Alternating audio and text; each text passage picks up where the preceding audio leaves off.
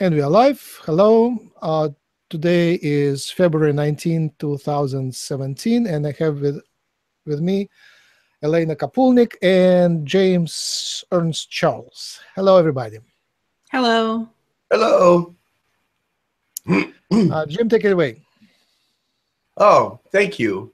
Uh, it's really good to be here today with uh, Max and Alina. You pronounce it Alina, right? Yes. And um, you're, I find you such a fascinating and interesting person, and you've been to so many great places and done so many things. And I'm going to be asking about a lot of that stuff today. And um, I, in the third density, I know it's very difficult for an alien spirit to be here sometimes. So uh, I wanted to ask you, what is your favorite density when you do travel? Where where do you go that you find it most comfortable and most peaceful? I find that eighth density for me is the most comfortable to be in and higher up as well. Anything okay. higher, that is great for me. And I like to go to the Andromeda Council biosphere ships and as well to Girk-Fitneer. To me, that felt cool. very beautiful. And the Girk-Fitneer, uh, one of the motherships, had this healing room with a lot of crystals in it and swimming pools, these natural healing pools. For me, that was very healing and very nurturing. And I also learned about um, history with one of the Yahyel on the Girk-Fitneer ship.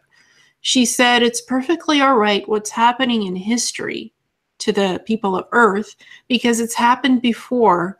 And to reach ascension, we must learn how to um, clean up our environment and not repeat the mistakes of the past that they did 6,000 years ago and before that. Excellent. That's cool. Can you describe what the density is like, uh, or the feeling compared to a third dimension, dimension, uh, higher dimensions? What do they feel like compared to third dimension? They feel natural and beautiful. There's no disease. There's no sickness. There's no um, pollution.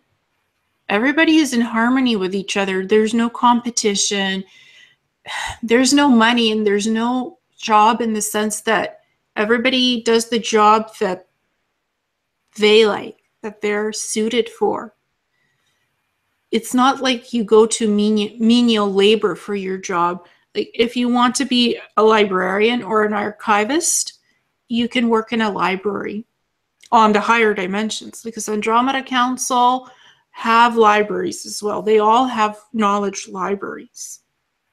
Even Girk-Fitneer has historical libraries on their ships where you could learn knowledge and history. And it's you can take as much time as you need. There is no hurry up, quick, quick, quick. You know, there's no such thing on those ships. You you learn at your own pace, at your own comfort. And when others come to learn, you teach. You help teach them.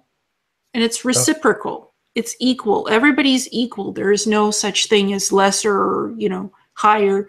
You're all equal. Excellent.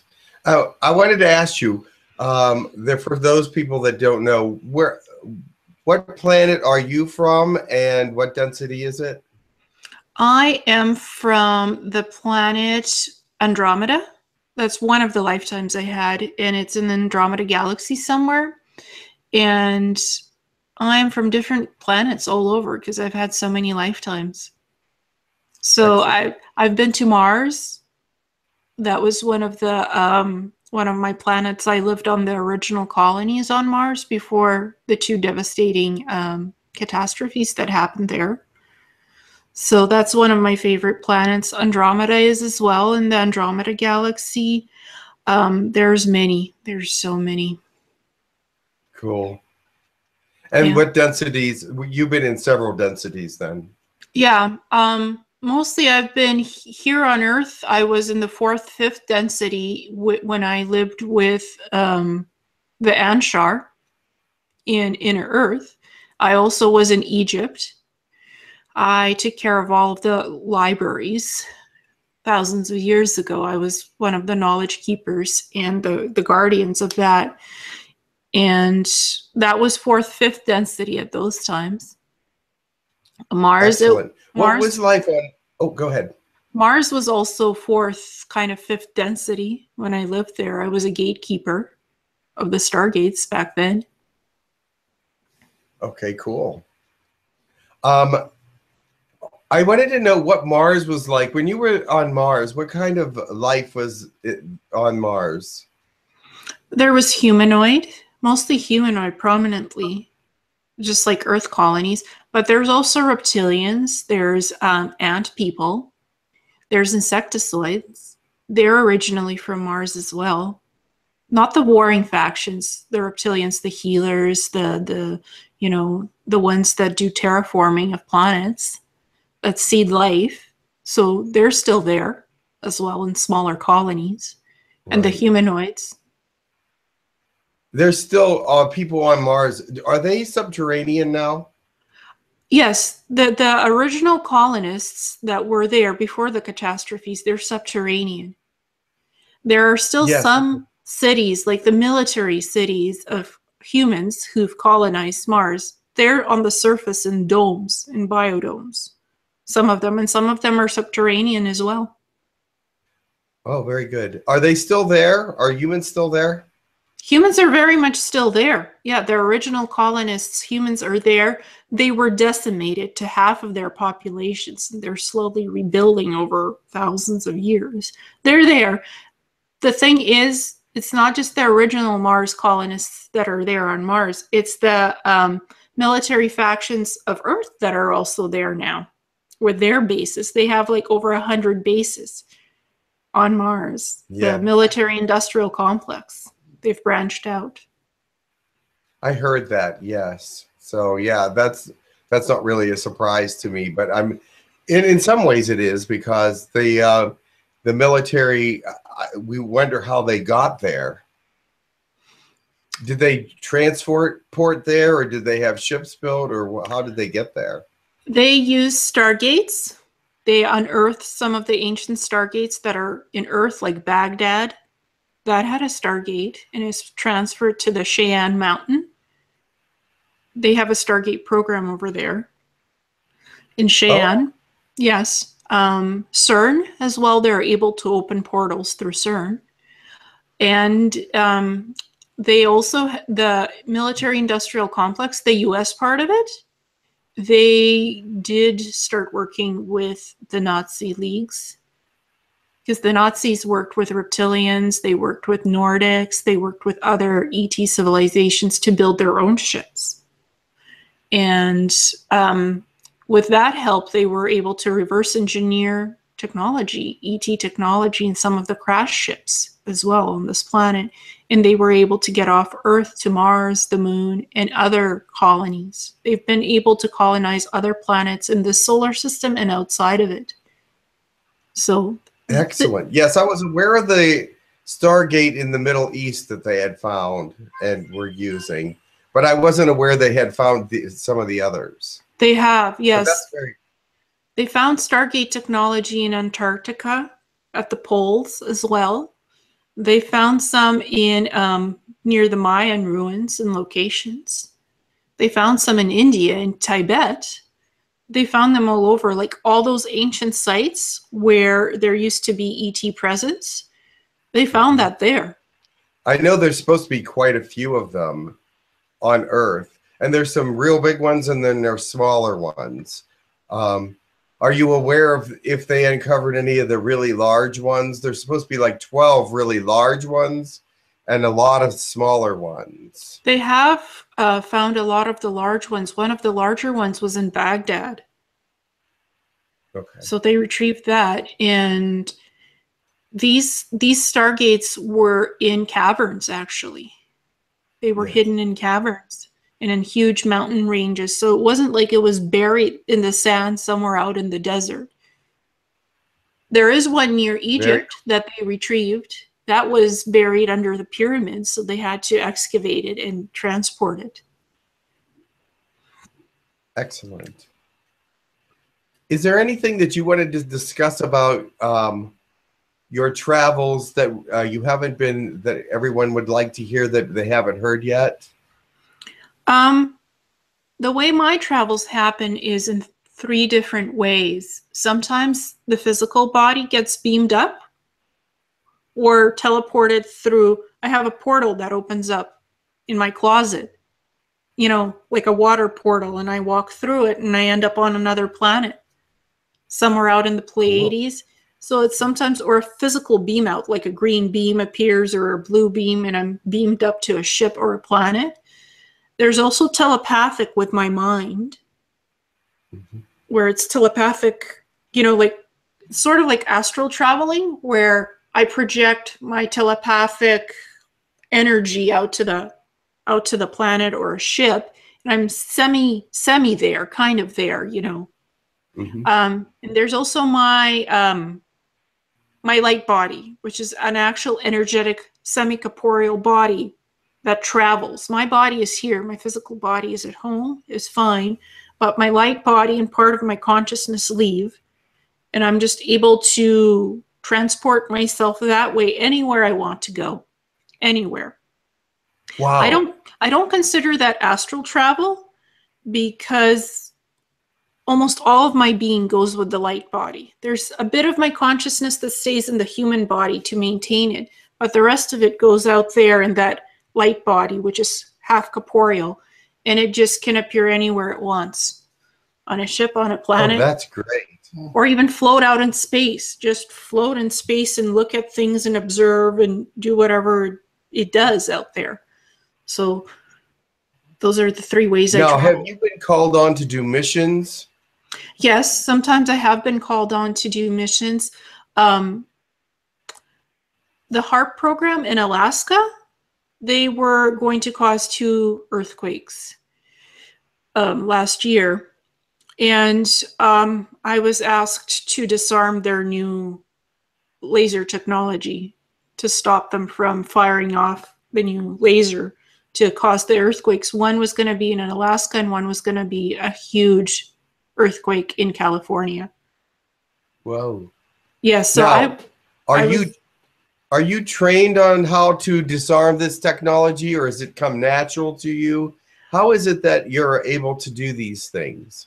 Well, I was in the secret space program, so I had training of various advanced technology and such from that time. Um, all I was supposed to do when I went to disarm the HAARP technology I was just to call on um, the plasma energy from the ionosphere, the ener- energy. I was just supposed to call down the energy, the plasma, harness it, and just blow up the laser. Just blow it up. Wow. And that's what I did. it took them a year to rebuild the thing. Wow, that's incredible. Um, it must be wonderful to be able to do those kinds of things and help humanity and um, I'm just wondering, um, you were in the space uh, secret space program too, uh, and you did a lot of training there. Yes. Um, did they send you out to do these missions, or did the aliens send you out to do missions? The the secret space program has their own agendas. I was mainly stationed on Mars. I built advanced ships. I built um, technology to be able to do translation work. I worked in information centers to they'd send information to me about all of the stuff they recover, ancient technology, stuff like that. I'm to collate it, translate it, and enter it into the databases. So I think that was more self-served, the work okay. that I did with them on Mars. The work that I do with the ETs, that's for humanity, to help humanity. Excellent. That was one of the HAARP projects to disable that. That was the ETs gave me the information and I was to disarm it so they wouldn't cause the earthquakes. So um, some of it is what I'm doing now. It's for humanity and to help. The secret space program was, you know, it's their agendas. Now, um, there's so many alliances out there. Do you work with all of them, or do you just work with uh, ones you choose to work with? I know of all of them, but I choose to work with certain groups that I feel more energetically comfortable with.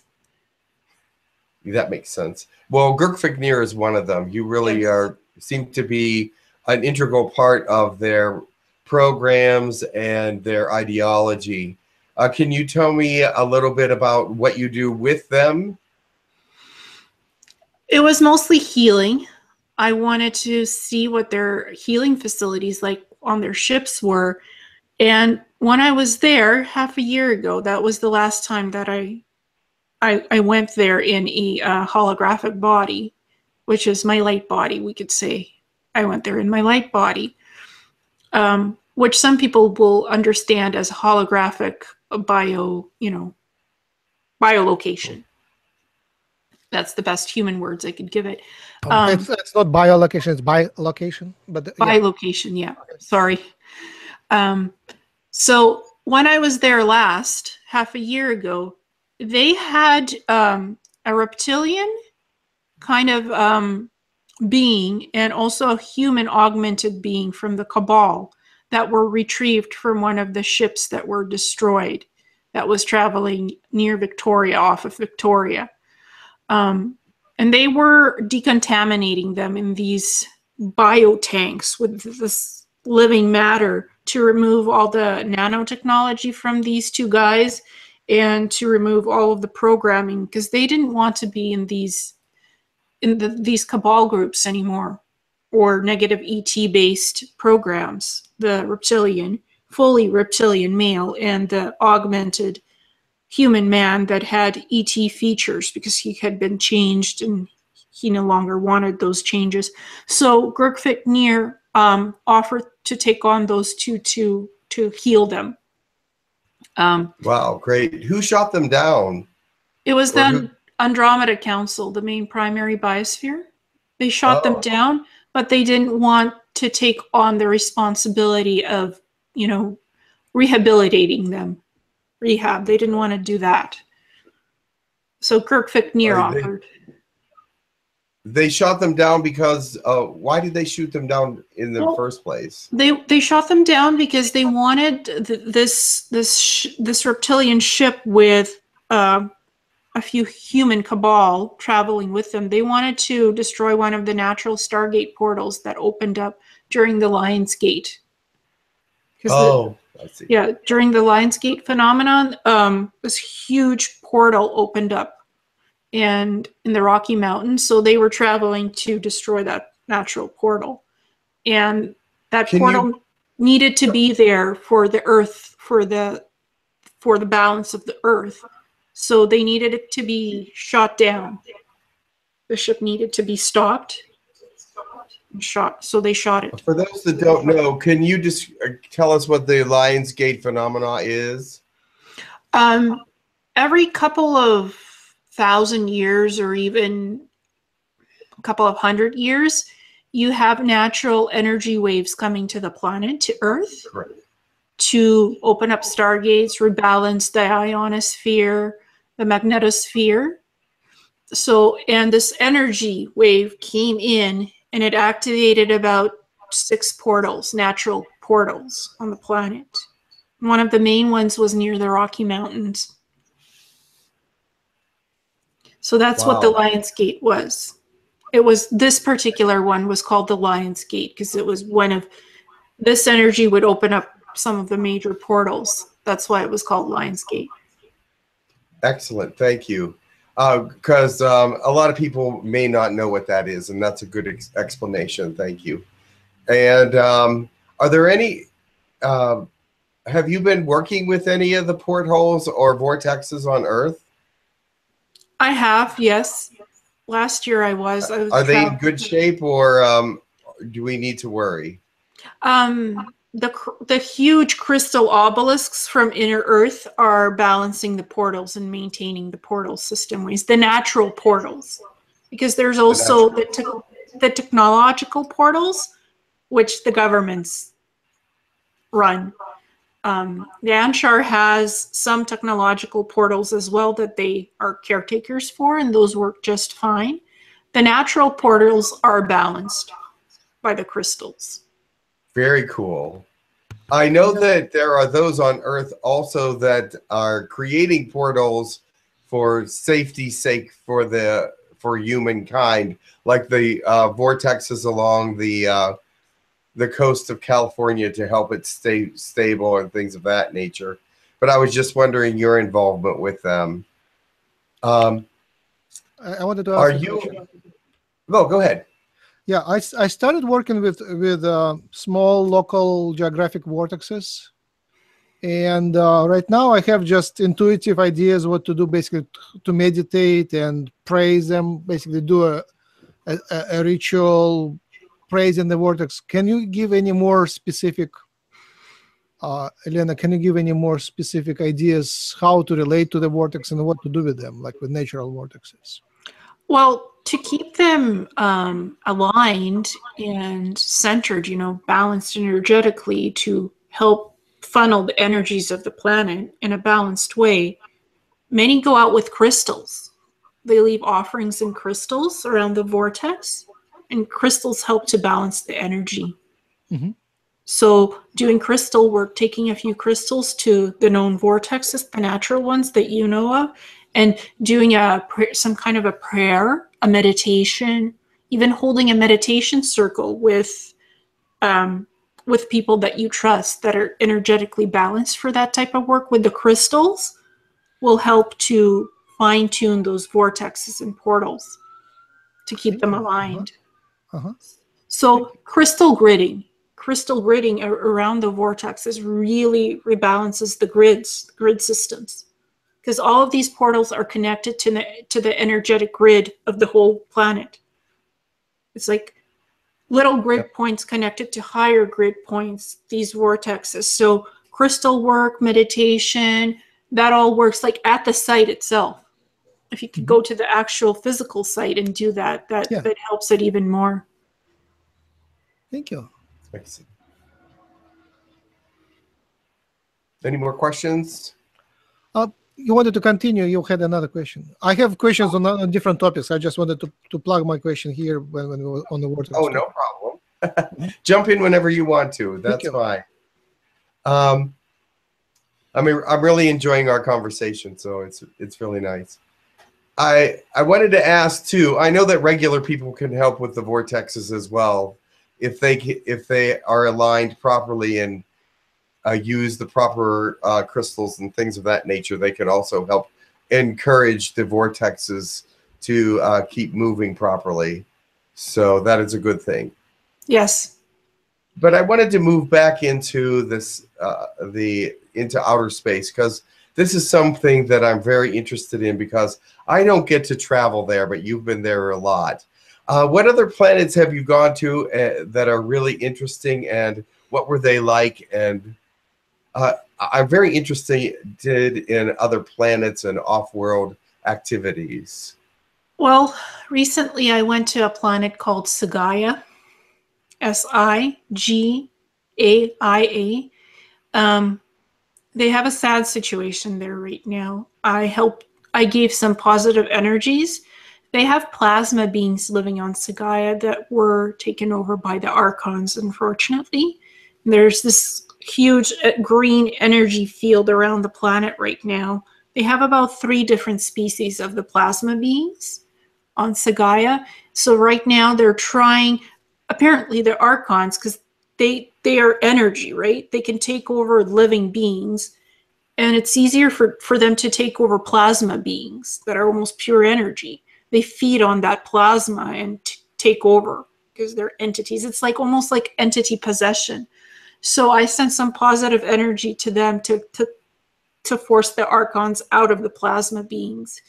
It was a sad situation, but the planet itself needs a lot of rejuvenation because the original um, flora and fauna has been damaged on the planet with this green substances, this green goo that's around the whole planet.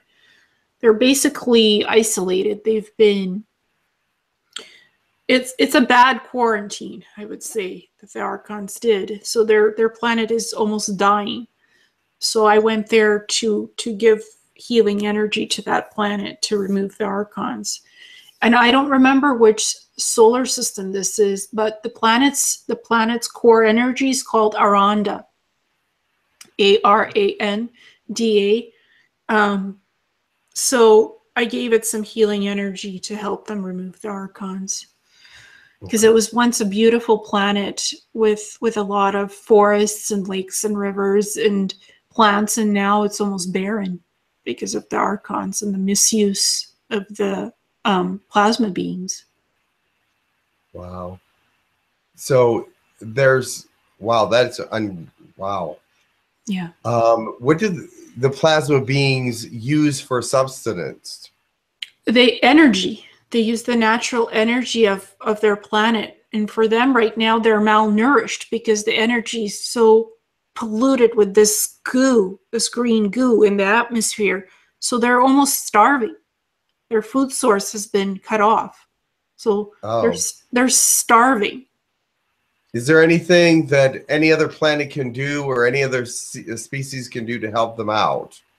um send healing energies if ets can physically go there and help to clean up the archons somehow that would be helpful for them. I i don't know the specifics. I wasn't allowed to see how the archon invasion happened. I was just to send healing positive energies and i spoke with one of their elders raun um and i just gave a lot of healing a lot of good energy um to rebalance the plasma beings themselves and a bit to the core of the planet. But it's going to take a lot of effort to clean up this this whatever happened on that planet. It's very sad to hear th- uh, stories like that about planets that are dying and uh, civilizations that aren't doing so well. But they're they're all over the place in the universe, so Yes. it's it's sad. yes. but- Is there any other places that you can tell us about that you've uh, gone and helped? Um, I remember one of my fondest memories is going to Teleris, um, which is a planet in the Pleiades system where I just ran in the forests. It's beautiful. I think it was kind of like sixth dimension, and I just ran in the forest with the forest beings. That was the Oh, portal, the wonderful! That sounds great. waterway portal that opened up in my closet. I just walked in and ended up on Teleris. That must have been amazing. How long did you stay there? I stayed about half a day. And then then and then I woke up and I had sore legs and arms because I ran. I ran. I literally ran because I was physically taken there. So I ran in the forest because their frequency is different. So the energy of the body when you're there is also different. You you have such vital force in you. I remember this this beautiful green energy around my body and I just ran just ran because they run a lot in the forests. Were you able to communicate with them while you were there, or did you just uh, run, did just do the running and the uh, observing? I did a lot of observing, but I saw a lot of women in the forest, a lot of the elders, a lot of the elders who take care of the land, female elders, and I Oh. talked to them. Um, they have they have natural portal technology that could heal your body. The waterway portal that I entered through it did some healing on me. It's really beautiful. Excellent. um, and they're th- the ones that take care of the land they're the healers of that planet they looked some of them looked humanoid some of them had these feathers on their heads you know like kind of because they're the elders so they're really connected to the land of that planet Oh, that sounds beautiful. Mhm. Sounds like they take care of their planet very well. They do. They do. They don't have any type of cities. Everything is like looks like huts. Like huts, but it's made out of I don't know earthy type materials Very that cool. are they could just materialize that and build build build huts that just blend in with the environment. So there's nothing like cities there. There's there's like little colonies and groups of um, living arrangements, but no huge cities. I see. Yeah. I'm gonna change. I'm gonna change gears here for a little bit, and I wanted to ask your opinion on first contact and um, things of that nature. Uh, what do you think? When do you think that's going to be a uh, plausible? Actually, Well, it depends on the humans, and it depends on our government, and it depends on ETs as well. yes. How long? How long is the government going to hold this embargo of not telling us about the existence of ETs? That's the first thing that needs to come out. And you know, contact is already being made with many people on the Yes. planet. That's already been done on personal levels, person to person, and groups that are ready for it. So, but I, there, and there's, you know, there's different sorts of contact. If we want whole planet wide contact with ETs, this, this, it needs to be out in the open that ETs are real. They exist. They've been coming here for millions of years. That needs to come out. The information to the public needs to be released somehow. So that's first. Because the when, I don't know. I can't give you a year. I don't know. Everything changes energetically on this planet every second. So, you know, those that want the contact already have it. Those those of Correct. us that are energetically inclined to it and are open minded and believe that there's other life on other planets and in the universe, we already have the contact. We have it. So we don't need to be convinced of anything. We already know the truth. I agree with you 100% that the people that uh, want the contact or can have it, um, they can may not be able to have it to the extent that they want it, but they do have it. Yes. So that is, they have the knowledge and the understanding that they exist, and they do have uh, some contact through channeling and other means, and some news and UFO sightings and things of this nature. So they do they do have the information that it exists and that they do exist. It's just that they uh, they haven't met them in person yet. Well, I did have a sort of, I guess it was seeing the future of what will happen when contact is made official. You know, official disclosure is made that ETs are real. The government releases the information at some point, which they will. So there, there are exchange programs. There are exchange programs. The government will set these up. And so those that already know who they're in contact with right now can request to fill out a requisition form saying which ship they want to go on, which species they're visiting, and how they're related to that species. And you know, they fill out the form, they submit it to the exchange program, cultural exchange program between humans and ETs, and then they can go on to physically travel out from the planet in a ship to that other ship or that other planet with their star family connection to visit their star family connection. So, Yes, I know some people that have experienced the fact that they were supposed to go and they didn't go. Uh, uh, they were stopped by the government or whatever. But there has been some that have gone mhm. and have made that exchange. But uh, recently, there's been a lot of delays. So I'm not But sure what that's about. at some point in the future, there will be these physical exchange programs between humans and ETs where, you know, like we have cultural exchange programs on this planet already with other countries, it will be this way with ETs. You, those that already know who they are telepathically in contact with, right? They could fill out a form. The government will have these official programs in place at some point when everything is worked out where you could fill out the form which planet you want to go to, which species you want to meet, which name of the ship. You know, if you know this information, you fill it out and relation to you. How is the ET related to you? So, say, for example, let's play this out, this scenario. Um, I have two cousins. I have two cousins on the Akashan ship, the L, the L ship.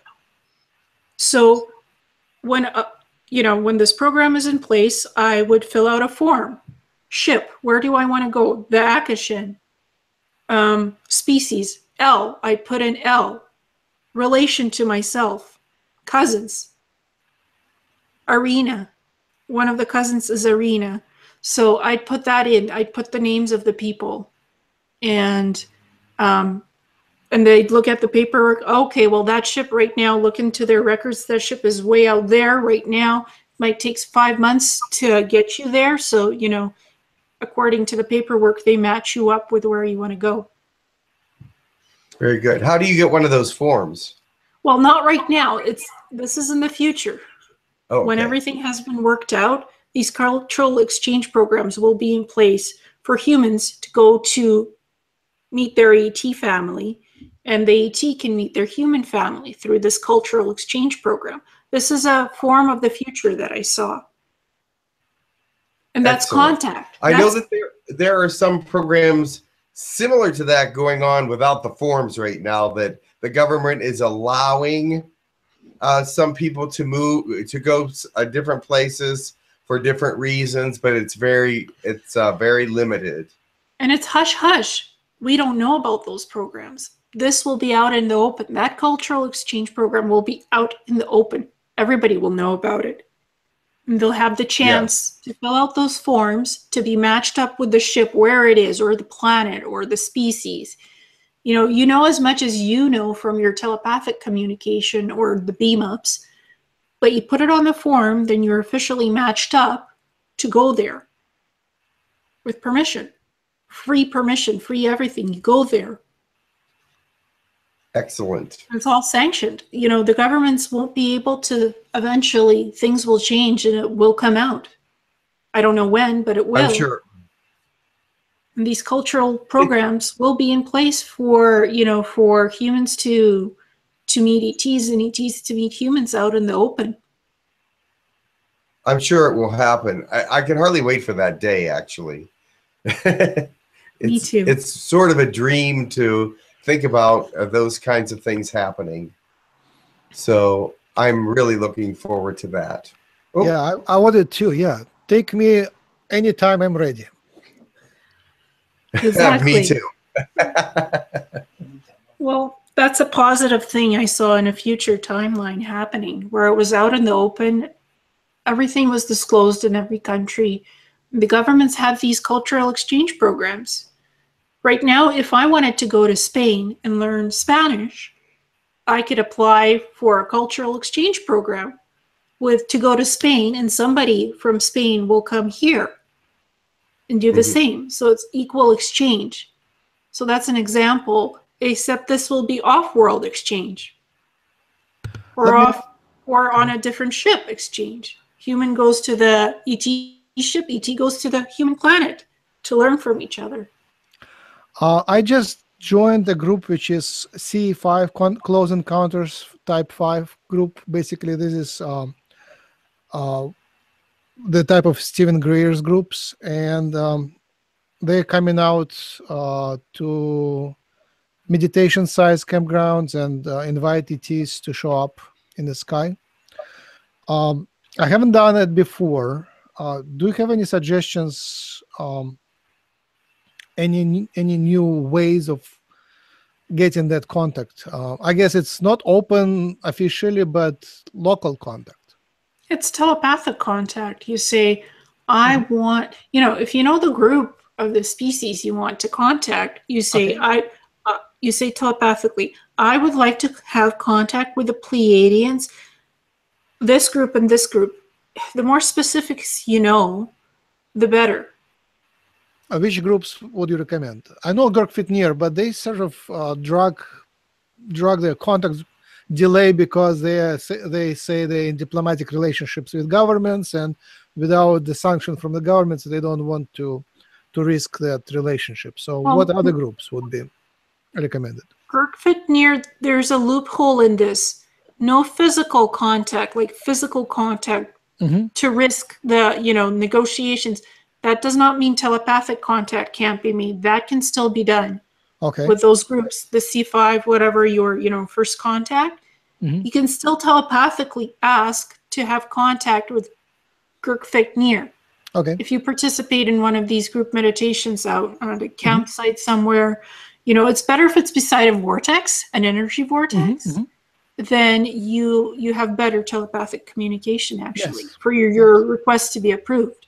So you could say, you know to care from Girk-Fitneer. You can say mm-hmm. Girk-Fitneer, I want to telepathically communicate with to care and I want to holographically go up on the ship. That is allowed. That is allowed. They're Excellent. not physically coming here and showing up in the ship and saying, "Hello, we're here, human Earthlings. We're here for you." No, that is that's what the you know the negotiations are with the government, the physical contact negotiation. Uh-huh. But telepathic contact is allowed. That's allowed. Yes, I, yeah, telepathic contact is allowed. Okay. Thank you. Very good. All right. Um, I can't see. you. Okay. Right now, I I'm thinking that um, your trips th- throughout the universe have to be numerous, and you you must have like a sort of a mental scrapbook of all the places that you've been. Um, is there any uh, species that you think that will be um, we will be able to go to in the future that will be really open to humans and all their different quirks and things.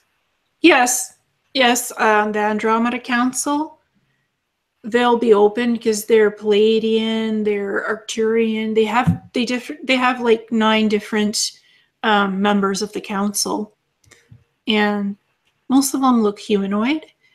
And their biospheres have different habitat zones for different species that go and visit them.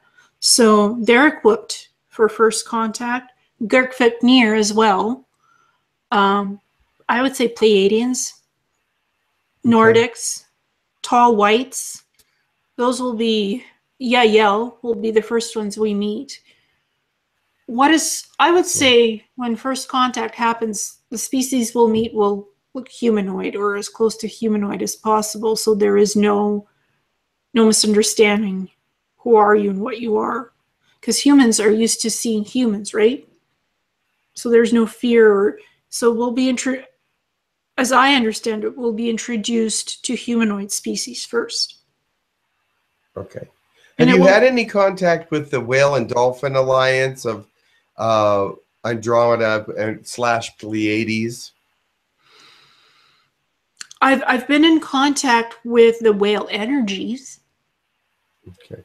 Um, the and I did meet an whales like dolphin. I met a dolphin species, and I was shown how the moon will be tractor beamed away at some point because we won't need it. We won't need the oh, moon interesting. orbiting like around the planet in the still motion that it is because it's locked in with with the Earth orbit.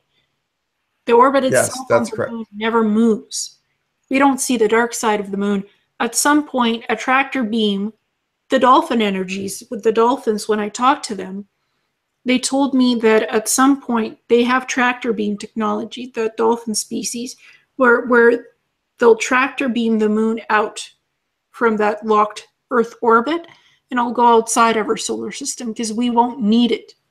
The Earth will be balanced enough on itself so it doesn't need the the lock of the moon around our orbit to to balance things. It will be able planet will be able to balance itself without that moon being there. Cool. Have you been to the moon and uh, seen what's on the other side? Yes, I have been on the moon. I was stationed there in one of the programs, the SSP programs. Is it, dark true that, is it true that there's a lot of aliens on the other side that are uh, colonizing that side so that they can like sort of look through and observe the Earth?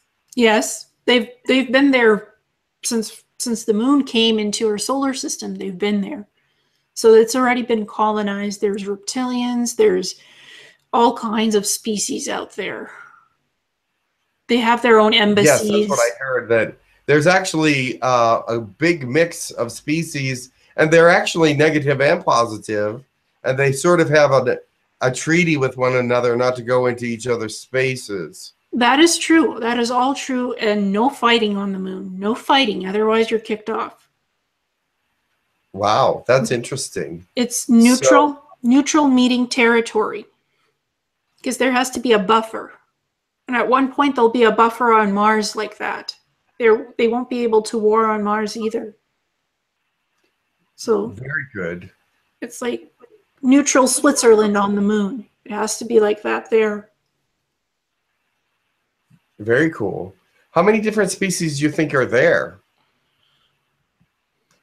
Three thousand. Wow, that's a lot of different species. Mhm. They so they must have a, much, a very small colonies all around it. yes, yes. They have their they have their little territories mapped out. And there's human presence on the moon.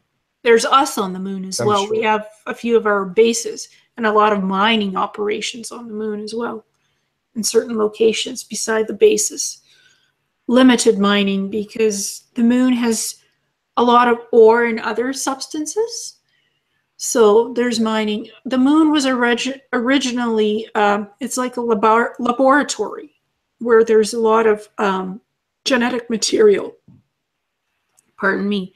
A lot of genetic material stored. Plants, various species, you know, how to seed life on other planets. So it's like a, a laboratory to do that. That's what's originally was supposed to be done, but there was a lot of wars in the solar system. So many of the original colonies of the moon on the moon were ruined. The domed cities were destroyed. I imagine you could probably write a history book about some of the things that are happened in our own solar system. Have you been to any of the other planets other than the moon and Mars? I've been to Pluto and Uranus. I've been to Venus. Um, What are they like? The Venus people are very nice. There, there's there's old ancient guardian outposts there that are still active, and they're holographically managed. There's also Venusians living on um, Venus, and some of them are blue skin, blue skin. Um, they have humanoid type colonies there, humanoid species. So they're very welcoming and they're about teaching and knowledge. Pluto and Uranus, their secret space program bases there. So Oh, okay. primarily what's what's there. Um, there's also that little planet in the um, in the asteroid belt called Ceres. Okay.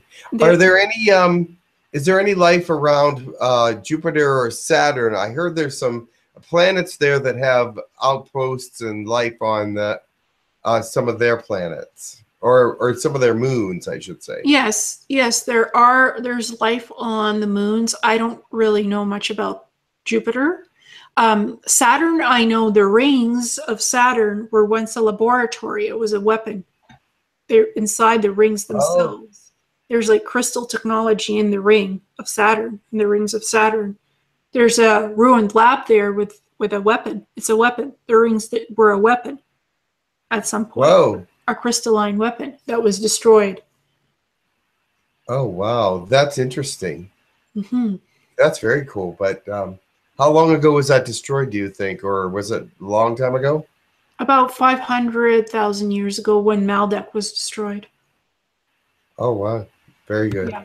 And um, there is a, a, a superstation near Jupiter and the Ganymede star portal. There's a portal near Gan- the Ganymede. It's called the Ganymede Trading Portal. And it's an actual technological portal in space beside the space station. So oh, is that the one that they call the little the miniature black hole kind of thing? Uh, sort of. It's not a black hole though. It's a huge I- I think- portal. Yes, um, Earth looks at it. Uh, the tech, the uh, scientists of the Earth that are just uh, looking at it think that it's a black hole, or some of them do. Yeah, but it's so- not a black hole. It's a porthole. Yes, it's a natural. It's like wow, a. that's very cool. It's like a portal. If you ever watched the Stargate series, it's one of those portals and like one of those hanging portals in space. So Uh-huh. that's what it looks like, and it's beside the um, Super Confederation space station. That's the space station that's near Jupiter, and it's a trading hub. That portal, it's called the Ganymede portal, and it's a trading hub. Humans, different ET species go in and out of it and go to the station for negotiations, trading routes, colonization of planets. That's where those negotiations happen. Excellent. That sounds cool. Do you have any more questions, Max? Yeah, yeah. Uh, about uh, as you mentioned the history, like five hundred thousand years ago and so on. I'm trying to write the the origins of humanity history, and I just realized there is so many conflicting, at least two conflicting ideas.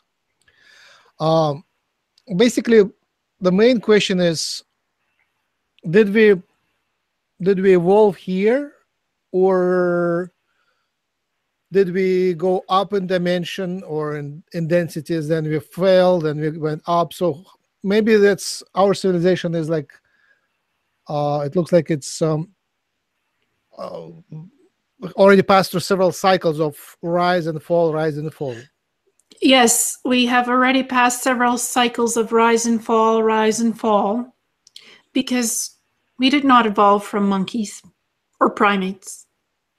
That is a fake evolutionary status in the history books. We did not come from primates.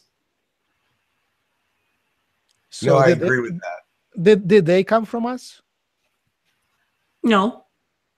They have similar genetic material that was taken from us to create them, but they did not come from the human species per se. They were genetically blended. We are not their ancestors. so why they are so similar to us I believe that's very close. Yeah. Genetic manipulation, that is why they're so similar to us, because a bit of our genetic material was taken to create them. But we weren't created from them, as Okay. the evolution origin theory says. That's not true. We, as humans, were seeded by other ETs on Mars, on Earth, other planets in the universe. okay Um, and a lot of genetic stock was given to us to make us what we are today. Okay. So uh, why would they create the other monkeys? because they hold their own integral um, part on being on this planet for the ecology to sustain the ecology of this Okay. planet. Okay. Um, one, why are we then uh, so similar to other mammals, like in, in genetics? Are they also created in parallel, or Yes, yeah. Everything that is on this planet on Earth comes from the same seed bank, if you could say. There's like seed banks of mm-hmm. plant life, of animals, of humanoid life, and it's all comparable to each other. To to, it has to be, what's the word? In balance and in harmony like that's Yeah. why certain plants certain species of animals and certain species of humanoid we are a humanoid species Mhm. that were co-seeded together at the same time because we have to be biologically similar to each other to be Mhm. able to exist on the planet so we're, we're similar in everything biologically that was seeded on this planet because every planet um, has its own atmosphere has its own land masses that are appropriate for the life that will be seeded on that planet. So it's specific to every planet. Not every planet has the same species, the same animals, you know, plant life, etc. Every planet is a little bit different in what's seeded on it that is compatible to that planet. So the species seeded on this world, the plant life, the humanoids, they are each compatible to each other to live on this biosphere of our Earth. Mhm. Now, uh, there is a, a nice paradox. There is like very many uh, species of, uh, say, animals. I don't know, maybe thousands of or hundreds of thousands. I don't know exactly, but there is only about 20 species of domesticated animals. Only 20. Like we all know them. There is there is no not a great variety of domesticated animals. So somewhere I heard in the discussion the idea that each major species of aliens contributed their personality to our animals. Like Sirius would contribute a dog, and uh, Lyras would contribute a cat. Do you have any any ideas in that direction? I would say it's plausible that characteristics of um, ETs can contribute to the animal forms that they are most, you know, like. But animals are very intelligent in themselves. So I think it's genetically possible to splice characteristics into animals of other ET species. That's true to a certain limited degree. Because Mhm. it's it's about sentience of life. How far are you going to go genetically to create that sentience of life? Mhm. Is it going to be a domesticated animal? Is it going to be a wild wild animal? How far are you going to go with this? Uh, related to that, there is a, a general observation that many of us uh, become intolerable to wheat, and uh, some people are just fine with wheat, right? And I think maybe it could be genes, like alien genes, which are incompatible with wheat, or it could be just the level of vibration. Basically, wheat kind of grounds you. If you raise rise to certain vibration, you just can't tolerate it anymore like there was a, a funny not funny but interesting uh, observation like on uh, buddhist retreats some people when they meditate they get crazy so to bring them back to normal they feed them uh, hamburgers and that kind of grounds their vibration right uh, so uh, elsewhere i i heard that wheat is alien while other grains are are like more like from Earth, like uh, they're evolved on Earth and wheat is alien. Do you have any clarifications on that? Well, for for my own experiences, I cannot tolerate wheat or grain anymore because I do have that alien DNA component in myself that has been activated. Mhm. Before I could eat wheat and grain just fine when I was younger, but the the the alien genetics in me that have been activated, I'm on a higher vibrational frequency, and the wheat and the grain are on a lower vibrational frequency, so I can't ingest them anymore. They make me physically sick. Mhm.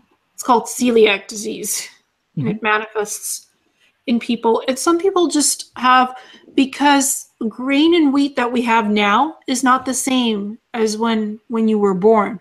It's not your grandmother's wheat and grain anymore. Right, right. It doesn't have the, you know, it has pesticides now, it has GMO in it. Mhm. So it's been tinkered with. It's genetic wheat and grain that's been genetically modified. So it's not the same natural wheat and grain that you used to eat when you were a child in the 50s and the 40s, even in the 60s. So it has been genetically modified by the governments. Mhm. So it's Okay. no longer as healthy as it was before genetic modification because it was natural. Now it's not so much. Okay. That yeah, thank you. Uh, let's move on. Uh, the next question is um the I, I was very interested in archaeology, a related question. And um,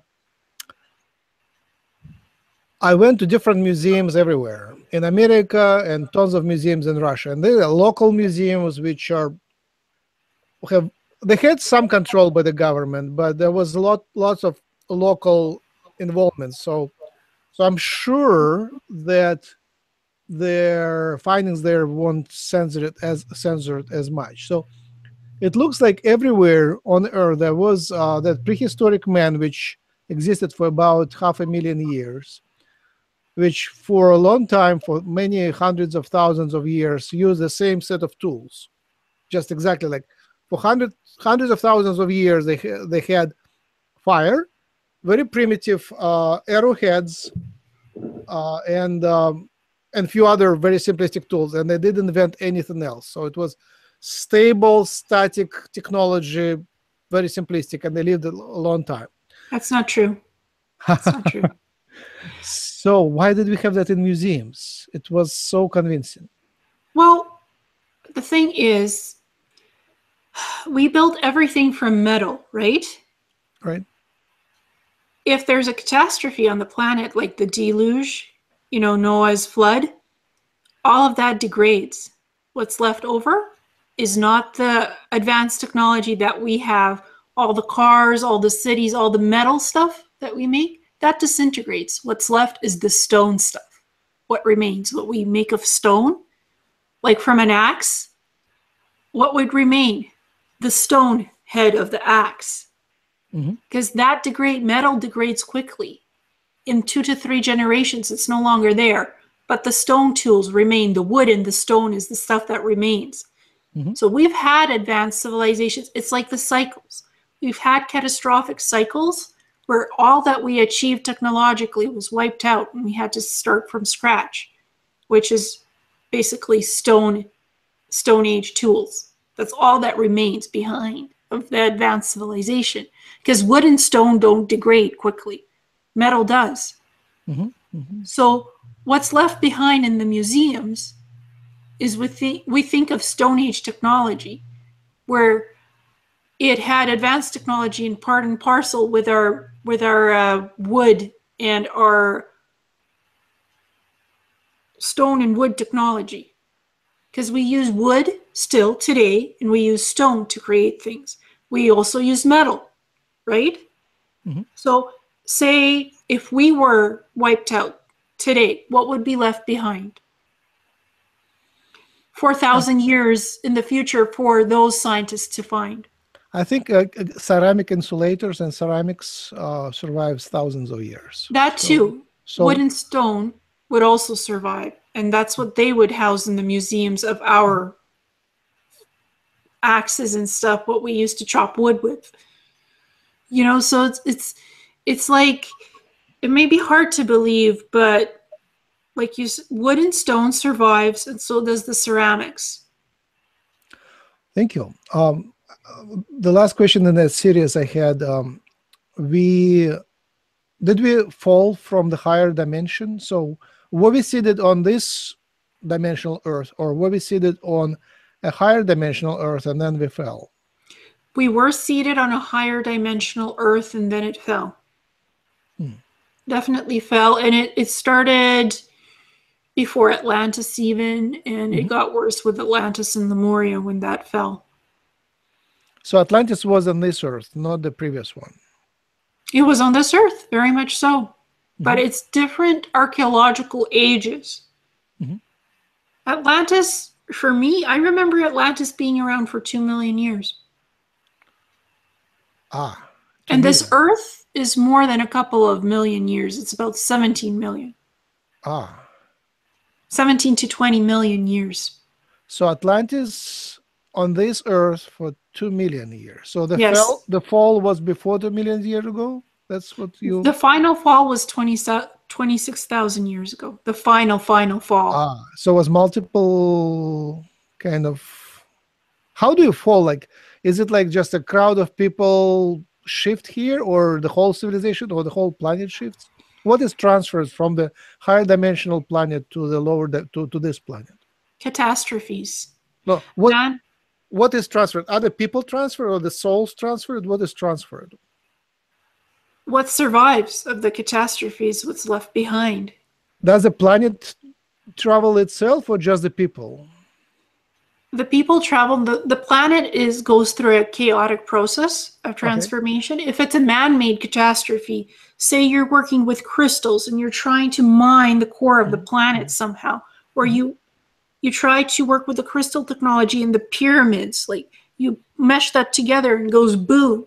Mhm. That's what happened 6,000 years ago. They the the elites tried to tamper with the pyramids, the, Mhm. the grid system, the energy vortexes of the pyramids, and meshed it with crystal technology, and it all exploded. Okay. And all of our cities fell and sank 6,000 years ago. And that's where the top of the pyramid was cut off. Yes, I, I believe so. Um, and also, 26,000 years ago, they tried mining with Atlantis. They Uh-huh. tried to do some mining of the core of the earth, and it exploded on them. And it caused those catastrophes, man made catastrophes. We're at this point again where we're lear- trying to learn not to repeat the same old business. Right. Yeah, that So- part is very, very, uh, very clear. Yeah. Thank Yeah. you, Jim. Do you have anything on that topic? No, I'm good. I, I, I- that's all I wanted to ask for this topic. But um, how much time do we want to, to, to go? I, I can go for longer. It- It's it's up to you guys. I can go for longer too. What's Jimmy's It's good up to you you want to go. Oh, thank you. So let's, um, I guess, um, w- that comes together with the idea of um, dimensions and densities. Like uh, there is uh, that author, you probably know her, Ashayana Diane. That's how she's spelled. Ashayana Deane, yes. yeah, when, when when I say it, nobody can recognize it. So I, I wrote down. Deane, I can recognize it. Yeah, Uh, I mean people who who, who listen, the, the viewers. Um, anyway, uh, she mentioned or she teaches about different universes, like universe one, two, and three, and the ascension is the process of shifting from our universe, which is number one, to the second universe, and the fall is backward from the second to the first. And our universe is um, basically a third density and uh, the next universe is four density. And the idea is that we have here basically three dimensions and there we have like more. I don't know how many. Say four dimensions. So that's the idea. So three universes one two three uh third density fourth density and th- maybe i'm misinterpreting but the main idea which is attractive to me is why um why we see first and second densities here. We like I understand first first density is like stones and atoms, and second density is plants or something like that. And we mm-hmm. are say third. So all three densities are clumped together. We can see down from third to second and to the first maybe, mm-hmm. but we can see up to the fourth. So there is some veil. And the aliens there, I'm not sure they're seeing us naturally. To see us, they have to kind of go through the veil backwards they have technology to look through it or travel through it. So it looks like there is a, a veil, a separation between our dimensions and densities and their dimensions and densities. So it's not like just we, we are stepping up and up and up. It's like we're stepping up and up and up, and then there is a veil, and we have to kind of go through it as a as a leap, as a jump. So I invite your clarification because it's um, it's the teachings are very different on that topic. Yes. Um, well, her she teaches by energy. It's all energetic levels. Mhm. The way she explained it is that we rotate through cycles of dimensional shifts, like you were saying, third 3D Earth and 4D Earth. That our 3D Earth shifts every couple thousand years into the 4D. So on one part of the planet, we see ruins from the 4D when we're kind of 3D. And when it shifts back to the 3D, we see something else, ruins that we might not necessarily see in another cycle. So it's dimensional shifts. The planet goes dimensionally, 3D, 4D, and backwards every couple of thousand years. So what we saw in one dimensional reality is not necessarily when we'll see it in the other dimensional shift. Mm-hmm. So planet one, two, three, and four can shift into different realities, if my understanding is correct of her information, because I that's what I was reading in book one, Mhm. volume one. And when the shifts happen, you don't necessarily see the same ruins and cities. When in 3D or 4D, you see something else, different archaeological date stamps of, of architecture, of archaeology, in one dimension it was one thing in another dimension something else. So that's um, interpretation of dimensional shift. It's based on energy. And we go through different cycles of that energy. And how our brains evolve does matter in what we can see in the next higher dimension how evolved we are energetically and vibrationally of each person. Not as a species, each person has their own evolutionary form going on in them right now, into what they could see beyond the veil, their mm-hmm. perception of a higher dimension. I might see it one way, you might see it another way. I might see fourth and fifth, you might just see fourth. It's up to Right. you energetically how you are attuned and aligned in on your own little ascension process within within your soul, within your body. you travel to this to this higher universe all the time, right? You Yeah. you're, you're there Yes. very frequently. So how different it is? It is very different. Uh, I mean, I last year I traveled 13,000 years in the future and I saw crystalline cities. I was in a different universe. I was on a different planet. I was I was standing on a wharf. Uh, it was made of crystal, and I saw huge crystalline cities and parks, and it was near the water. That's of the L race. So and it was very pure, very clean. They do have cities, crystalline cities, but there's no pollution. These people are clean. In terms of time, is the time flowing there in the same way as here? No. Time flow is so smooth. It's just so there's no rush, no hurry, no problems. It just flows smoothly. Here it's a bit chaotic all over the place. They don't jump in cycles between destruction and, you know, building their way back to um, a complete technological civilization. They work those problems out. They don't have that up and down flux that we do in our timelines. They worked it all out, so there's no conflict anymore. And they're in another universe completely. It's not our universe. There's no so- time flux out there. Are we shifting to that place, or what? What, what is our collective ascension? Where are we going? We're beginning to prepare to do that, hopefully, where we don't have to jump anymore through these cycles of um, man made catastrophes that we've gone through. We have to learn to stop polluting. We have to learn to stop pillaging this planet and, you know, stop working with these technologies that cause destruction. Until we learn that as a race, these cycles will continue. We have to get there as a race. And that's just logical thinking So as what's human beings. what's your time frame estimates for the ascension? Because some people expect it like really soon, and some people expect it like long time from now. Do you have any estimates? I don't have estimates because it'll take as long as it'll take as a human race to stop the destruction. First, as a species, you have to learn to stop destroying things on your own planets. That's number one. Mhm. Number two is cleaning up your planet so you don't have pollution, you don't have, you know, all this mess that we're in wars, whatever. Political arguments, political disagreements between countries. Have to learn stop polluting, stop the wars, stop the destructive technologies. Learn to live as a galactic civilization. Um, I um, I just say you speak like an alien. Because Uh, I am an alien. the aliens always kind of talk to us as if we were in charge of the whole planet, and really, like we're in charge of our own mood. Maybe, maybe You are in charge of your own planet because your voice speaks of the energy that you wish to see me You are in charge.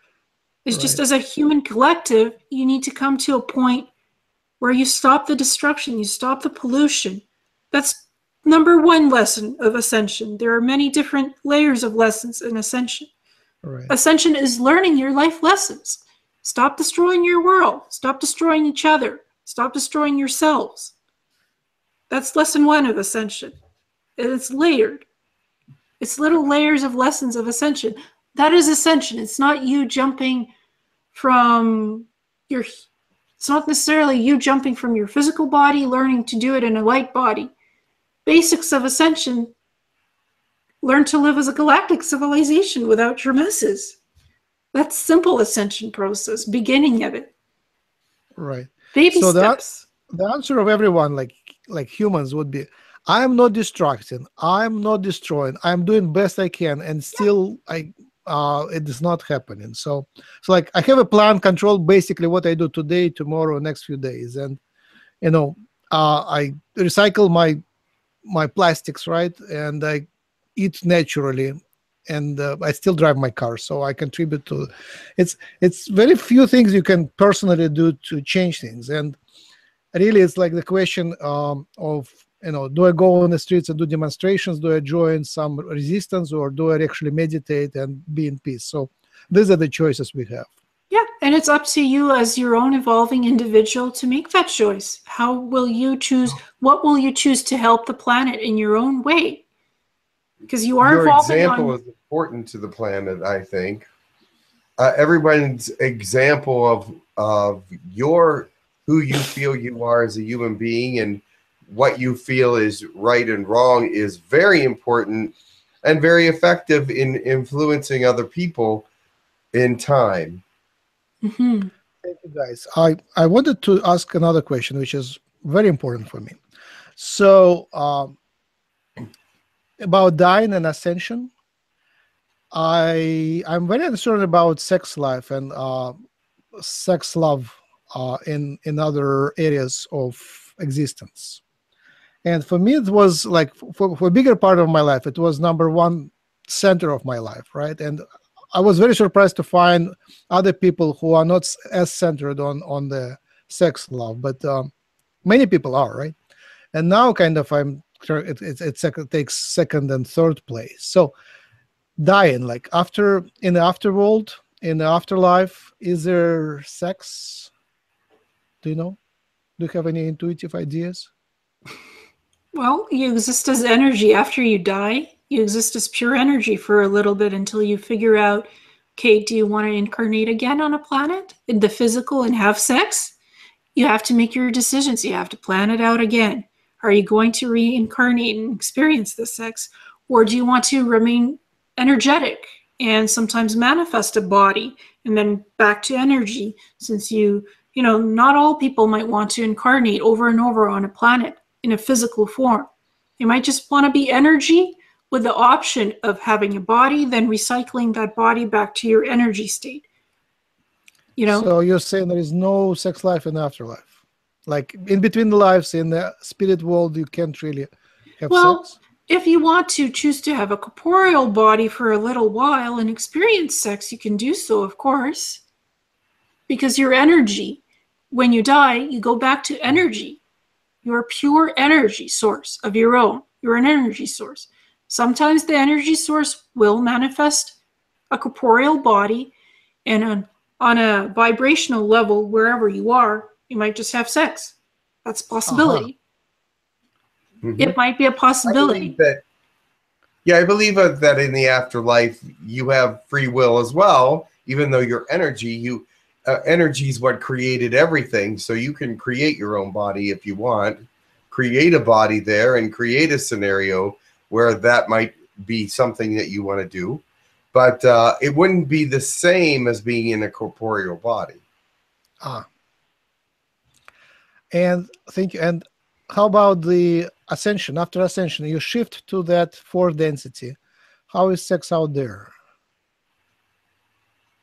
I'd say it's still fourth. In, when you're in a fourth dimension, it's still physical. When you're in the higher dimensions, sex is energetic. You Uh-huh. blend your two.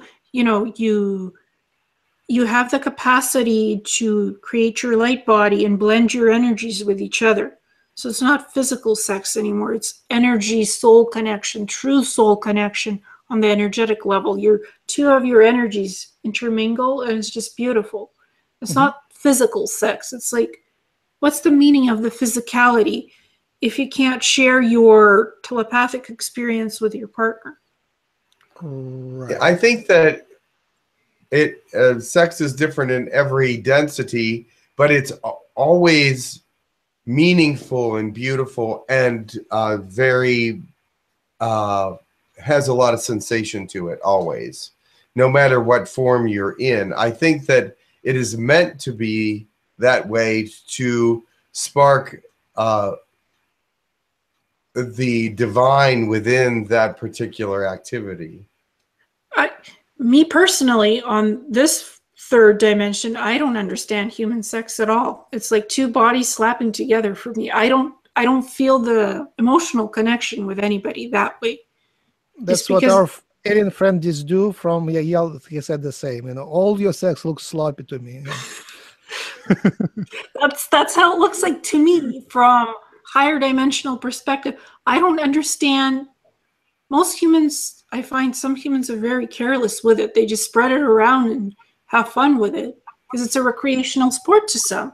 To others, it's very deep and spiritual, and it's a deep connection. So you can't lump everybody in the same category because for each person it's different. For me, I don't understand it. For me, it I haven't had sex in 15 years, so I don't get it. I, I Um, right. not um, compatible with people. I just don't find that compatibility, that spiritual right spark. as, as you rise in your spiritual vibration you just find that you know your desires change and your uh, you know filters and criteria change a lot. Mhm. right but um like for making a decision like the main the main issue here right the main issue for a personal issue for ascension is you really have to love ascension and want ascension. That's the main topic in all channelings all communications. And to really go full heartedly with that, you have to know are you giving up sex or not if you ascend? Like if if the future humanity ascends and goes into that crystalline, beautiful reality, are we giving up our sex or not? No, you're not Okay. giving that up. You'll just experience it on a very higher degree. You'll Yeah. you'll be able to put in the telepathic aspect of saying to your partner, "Well, I'm feeling this. I want to show you how I'm feeling." You can telepath that to the person, that experience, and they can exchange that experience with you. So it's it's on a yes, like- I. It can be a very powerful, positive uh, thing if if it's done with the right intentions and uh, the right feelings and intentions. It's a very powerful, divine, and wonderful, and energy creating uh, part of life, and it goes out into. It connects with all of the, the universe in the sense that we all connect with the universe through our hearts and souls. And that's part of the the divine connection. And it, it just makes it more beautiful and connects people a little closer. It's just that if it's not done with the right thought process it doesn't mean much at all. So uh, the thing is when it is done properly with uh, a love connection it's a beautiful and sacred and very powerful thing And the crystalline body works a little differently than the body we have now. Um, a lot of the females on this planet are worried about procreation. Like, oh my God, I just had sex, and if it was unprotected sex, I might get pregnant. With a crystalline body, you don't have to worry about condoms and birth control anymore because your biological, you have more control of your biological process. The crystalline body will not have any STDs. The crystalline body will not have a period for the female of your species. Um, so I think we just went, okay, never mind. So you don't have to worry about birth control pills in a crystalline body. You don't have to worry about condoms, STDs, because your biological body is in control of the cycle. If you don't want to be pregnant, you won't be until you're ready and you release your hormones. You send a signal to the body, it releases the hormones for pregnancy. You have your biological functions are more you can you can send messages to them and say to your body what you would like to happen. As whereas right now in the 3D body, we don't exactly have that ability sometimes. We rely on um, condoms and uh, birth control to make sure you don't get pregnant, you don't get STDs, et cetera, et cetera. What's an STD? Uh, sexually transmitted diseases, Oh, gosh. crabs. Right, terrible. Yes, right. We won't That's- have that in the crystalline body. Uh-huh. That will not Uh, be there on that dimension. Another topic which kind of is close to that is the idea of procreation, right? For me, love was and sex was always connected to the idea of procreation. Like when I would express my love to a girl, I would say, I, I want to have children from you. That that's would be like number one idea. Otherwise, it would make any sense. And anyway, um, some people among our community they don't have children and um, they can't have children by some by one reason or another because they just passed the age of procreation or they just are not um, don't have the infrastructure and the, uh, money and stuff to take care of the children so for them having hybrid children is is really emotionally charged.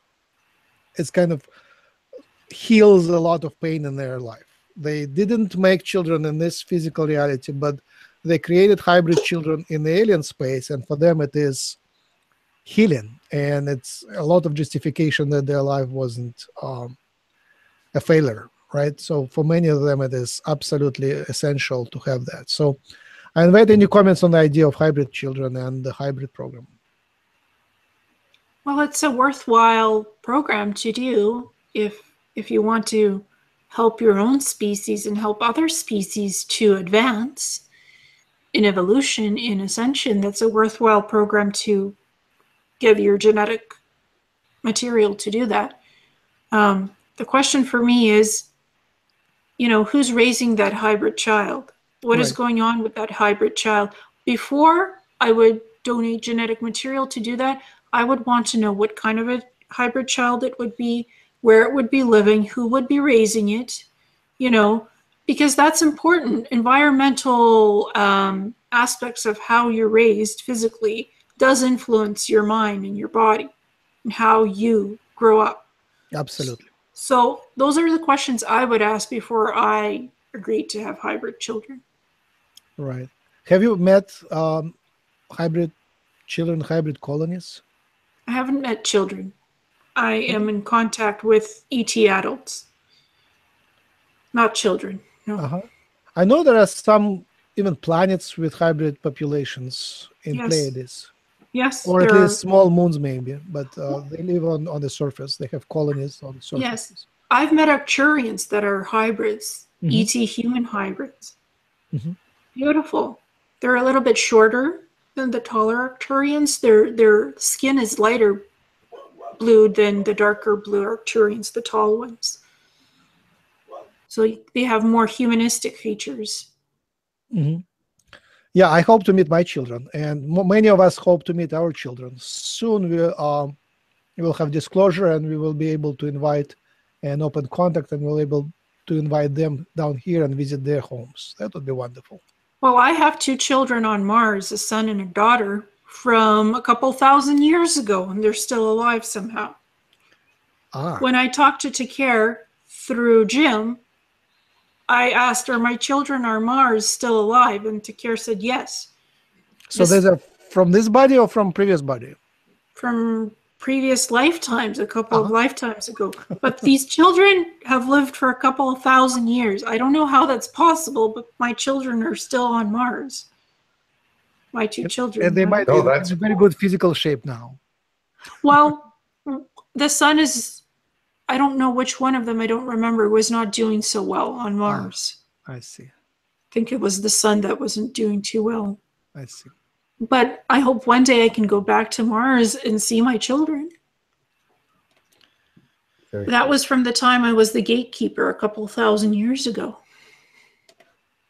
What species are they? Human. Ah, They're from the human colony that was originally there on Mars.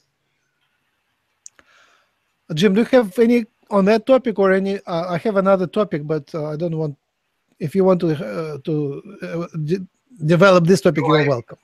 I've asked most of my questions. So, uh, as you mentioned, the the, the Agarthans, I somehow Agarthans escaped our channelings. I don't think we uh, channeled as many Agarthans as others. Like, um, I guess the main question is: Are we really channel- channeling the aliens, or sometimes it is local Agarthans pretend to be aliens? They used to do that quite a bit Mhm. before, but they're not doing that now because um, certain people have started talking about the Agarthan societies, about the nature of their existence, and so forth and so such. So it's been disclosed about them already. So what's the point of them masquerading as an ET? Mhm. when most people already, those of us that are awake, we already, the channelers, we already know that they're here. So what's the point of them lying to us and saying they're ET? Their their origins is ET as well from some point in history too. They might have come from a different planet here and settled here. Some of them may have been born here as original humans. Everyone is seeded from elsewhere in history. So we're all a little bit ET. Mhm, mhm. Some are naturally born on this planet, some migrate here or are seeded here. So, in a way, we're all ET. Okay. Another related question, thank you, is um, there is uh, basically the opinion that after open contact, it would be the Agarthans who would um, actively participate and will uh, share technologies and help us. Do you see that coming? Yes, again, cultural exchange programs, like I was talking with Jim a little bit earlier about ET cultural exchange programs, we Mhm. will have those with Agartha as well. And I cannot wait and- to go into their libraries and work there where the lighting is great. It's mood lighting, it's fluorescent yucky stuff that's in most of our libraries right now. So I cannot wait when that day comes and I can just say, hey, sign me up for that cultural exchange. I'm going to Porthologos Library in um, in Inner Earth in Telos. Like I want to go there. I already know where I want to go because I've been there a few thousand years before. I'm like, mood lighting is still nice, nice lighting. I'm all about the lighting, so I I choose to go there. Yeah, I work with lighting a lot. Um, yeah, I um, I play with it and modify it. It's important. The fresh air for me is absolutely essential, and lighting, yes.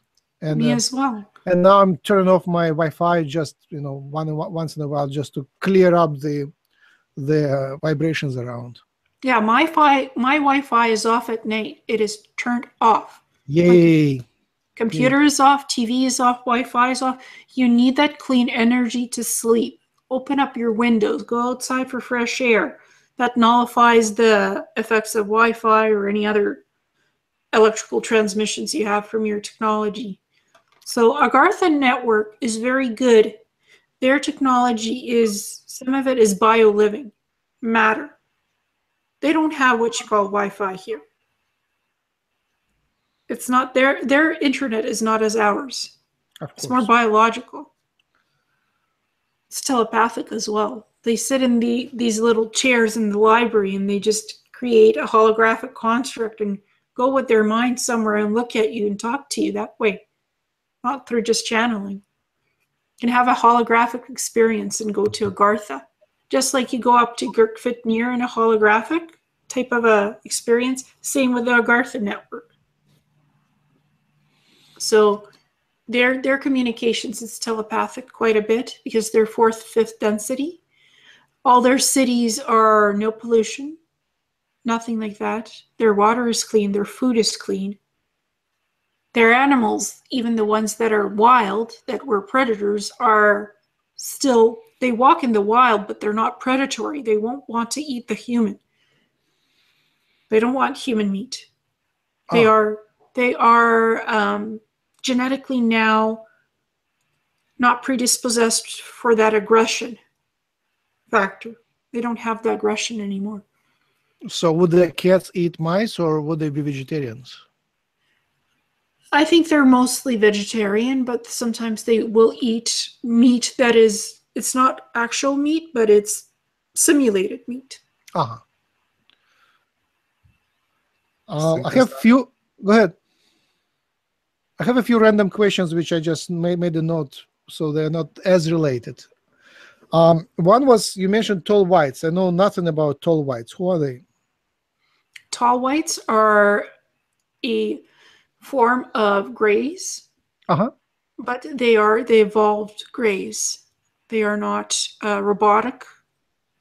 They are not genetically messed with.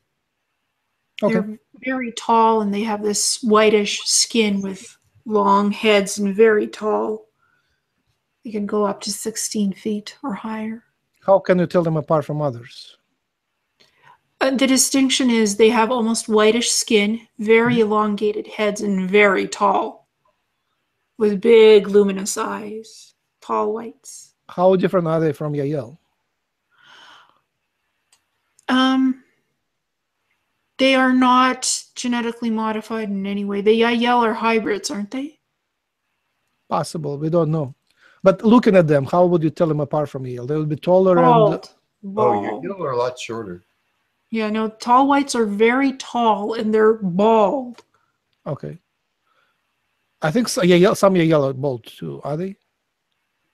Yes, but the tall, the Yahyel are much shorter. They're actually more just human size or smaller, whereas these guys are 16 feet tall. Ah. Okay. And they're they're good, right? Most of them are good. Yes, most of them are very good and they they have healing, they have uh teaching. They are they've been here a long time on this planet. They've watched the governments, they've even um intervened on some on our behalf when the wars were going on, you know, Cold War, all of that. They intervened to stop that from escalating. So they are still involved in in Earth They're uh, things. they are very much involved in Earth stuff. Nice. Very much so. Um, just recently, like last month, uh, a lot of draconian energies came around, and I'm trying to restrict them, but they just kind of come and ent- enter in every door. Uh, what what would you suggest, and what is your experience with draconians? Well, I was abducted as a child as by the Dracos. Okay, Uh, one of the species was black, the other one was yellowish green.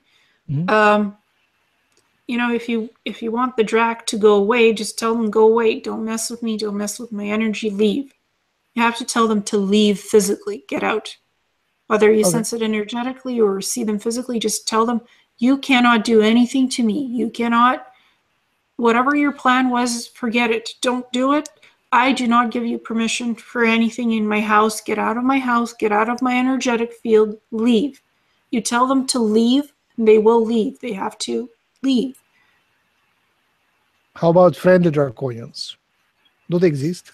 yes, they do. And, you know, if you want to communicate with them, you're more than welcome to. Uh-huh.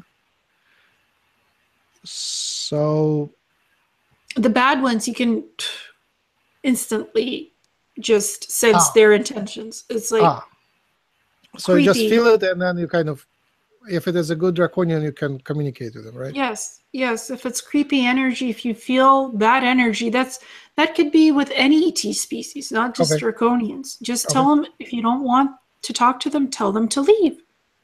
Or if you're not sure about the species, tell them I'm not ready for communication with you just yet.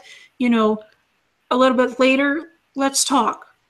A little bit later, because I'm not ready yet. You could say that as well if you're not sure about the species and the intention. You can put it aside for a while, that communication.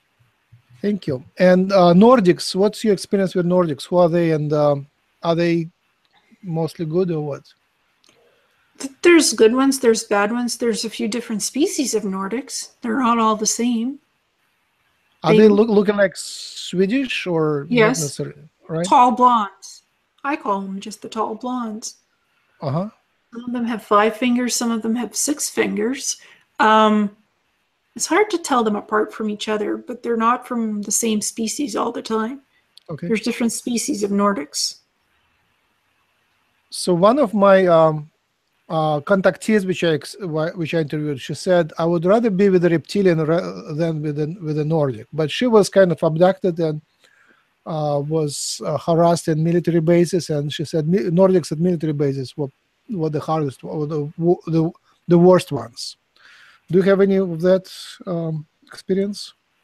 Well, I had a Nordic type Cobra uh, classy assassin come to visit me and try to kill me and my cat. He's a hybrid of Cobra and human in Nordic. So Cobra and Nordic. Wow. Cobra, human, and Nordic. Um, but you know what?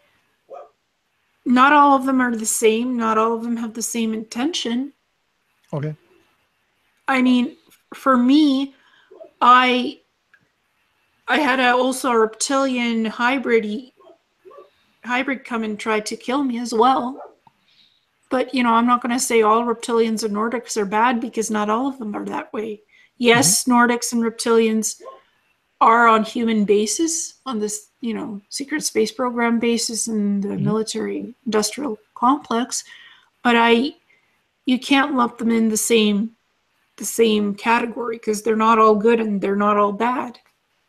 So I won't I won't say, oh no, don't have contact with a Nordic or don't have contact with a reptilian. I'll never say mm-hmm. that mm-hmm. because some of them are not bad. Yeah, I really like uh, the Nordic appearance. It kind of uh, evokes some very positive emotions in me. I like Nordics by some reason. I'm very attracted to that idea, and I like Greys and uh, Yahyels. But uh, uh, it would be nice to know more. It's kind of very mess messed up information. There is no clear history about that. I don't have much experience with the Nordics. Mm-hmm. Well, so it's like anything. Uh, there's all different kinds of uh, personalities within every species. So you, it's just like the same with humans. You really can't pinpoint anything that's really the same about them except maybe their look but their personalities are all different and their intentions are all different and where they come from is all different and how they're taught is different. So it's um, just like anybody else uh, we the, um, okay. we're all different. In the lord of, of the rings there are elves which look like nordics to me. Remember Yes. Elf? Yeah, they they you know I I'm so in love with them, the whole race. The pointed ears, the blonde, yeah, yeah, elves, blonde yeah, hair. Yeah, yeah, blonde, yes. And then there's also. Go ahead. They exist too. I wouldn't say they're Nordics, but yeah, they're. I don't think so. I don't know what the species is called, but it doesn't feel energetically Nordic to me. Okay. And there is also uh, a new TV series from 2016. It's called People of Earth. It's about alien abductees and aliens. It's a comedy sitcom, television sitcom, and I'm so so with, in love with the whole series. And they're now coming with the second season, and there is also what, Nordic there. Yes. Huh. And All it's right. like they they have their um they have their counseling group. It's a counseling group. Where? The, oh the yes, people of Earth. It's a counseling. Yes, you watched it, right? I haven't watched it. I've heard about it. Okay. There's this uh, counselor who doesn't really believe in the ETs. I think he's black or something. Um, he doesn't believe in the ETs quite. Right. He doesn't the believe main hero. He's not a counselor, but he's a journalist, and that's kind of his awakening. The whole. Yeah. The whole first season is his awakening, right? Yeah, and he starts believing in when he's abducted. uh, there is so many parallels there like you watch it it's like very condensed version of our experiences. I i um i ran a group of uh, abductee experience group in in rochester. And uh, so so i was there i was sitting in the circle and i was guiding it right? So so for me it is first kind of and ton, tons more of, of like and relation with the deers.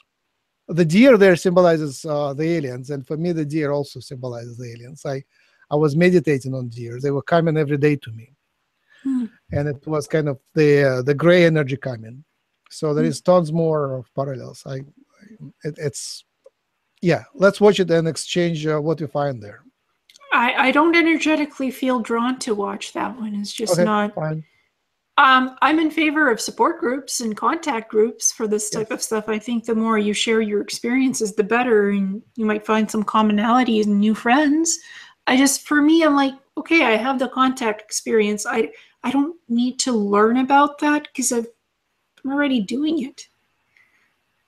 That that's a good show people of Earth for those that are starting to think about the idea that ETs exist and contact. You know that show is great for them to to learn and to to to experience that idea to begin to understand what it's all about. That show is great for for to to to think about all of these subjects for me, I don't need to think about it. It just is for me. There was another parallel. Um, there is, um, I think there was like eight abductees or seven abductees in the group, and one person who wants to be abducted and have never been abducted. He is like a 40 searcher and have never been taken, right? That was me, right? It, it's another parallel which is so dear to me. Like I am, you know, all into that. Take me now, and somehow they they still wait, and you know, until the future. And in the last uh, episode of the season, he is being taken, so he is absolutely happy. Hey, it's finally happening. There's positive abduction experiences and there's negative abduction experiences. So, uh, careful what you wish for in your experience. Uh, yeah, I want uh, to to visit my friends, yes, and and children. Hmm So you already know what kind of experience you would like, and you've already put it out there what you want to experience. Because some people are like, just take me up, but they don't think about who's going to take them up, what is going to happen there, you know, what what what the experience would be like, setting the intention for the experience to go have a contact or a positive abduction. You know that that's very important. Yeah, I wrote a book and published it. My plan, how we will work together up there. So the plan has steps, and the main step is to start YouTube broadcast from up there. That would be lovely. And the word abduction, I I prefer using the word contact experience than abduction. Yeah, visitation. Um, Yeah. yeah, Visitation. Because abduction, Voluntary, voluntary visitation. yes, because abduction to me says kidnapping. No, no, no, Yeah, no kidnapping. Only voluntary visitation. Only with uh, con, con, how do you call it? Consent. Yeah, with the consent. A consented visitation experience. Informed consent. I want to be Yes, kn- I knowing like who is taking me. No draconians, please. Not this time. I'm good with the Yahyel and friendly Pleiadians and um, and maybe Lyrans. Yes. Uh, All right. I think I'm done with my questions. Yes, very good. And we have to go pretty soon anyway, so I'm I'm finished with my questions. Unless there's anything you would like to just add to the interview that would uh, give us a little bit of an ending. I'm good as well. I think we covered a lot of interesting topics today. I do too. It was very interesting. You're a fascinating person. I love talking to. You. oh, thank you so much. And it's just wonderful to talk to you. It's like I'm I'm mostly the one asking the questions in interviews of other people. So it's nice to to be able to to talk to a person who and you have your own contact experiences with ETs. You have it too through the channeling. So Wonderful. I think you're already experiencing it in your own way. I'm experiencing them in a different way than I thought that I would, but I would definitely like to have a contact experience in the physical. So, a very positive one, of course. Yeah. And would you, if you were to have a contact experience, who would you want it to be with? I think I would want to meet Takur first. Um, and uh, maybe Pentim and Tepe and those these do. The people that I know best from Girk-Fitneer, those would be my favorite and first contacts. Um, and I think that it would be a really nice little get together. Yeah, let's go I'm together. already- I'm they're already my friends. They're already my friends. I already know who they are. They already have their own personalities that have really resonated with me and I love who they are. So those would be my first people that I would want to see. And how about you, Max? Who would you want to see first? Same and my children. Beautiful. He Nina and Pet Peter and Yep. yeah, that's her his And Masha. kids. And Yosha, yes. Masha, Masha, Masha. Musha, Musha, yes. And uh Lakesh I would like to see as well. Yay. Excellent. But be careful about hugging Lakesh unless he is in a spacesuit. Yes, Lakesh is a, a character, but I love him. He's very cool. Hmm. Excellent. Well, this has been beautiful experience for me again to talk to you guys. All right. Thank you. Thank it's you very always much. lovely to speak to you, and I always love being with Max as well. So Yay. it's been a lovely time. Oh, thank you so much. All right. Uh, we are stopping the broadcast. Goodbye, our viewers. Um, and um, do you have any announcements? I guess we invite more hosts for the show to press buttons, and we invite more transcribers. And thank you for those transcribers who are transcribing. I'm receiving wonderful transcripts these days, and uh, and today's today selections of today's uh, in- interview would be also wonderful if anyone wants to transcribe. Write to me at to max at humancolony.org. And we started a new version of the site, which is now faster. It's hucolo.org, abbreviated H U C O L O, hucolo.org, so you can take a look at it. All right. I, Oh. I, that's all I have. Me too. Thank you. Thank you. All right. Goodbye. Goodbye. Love you. Bye bye. Love you. Bye.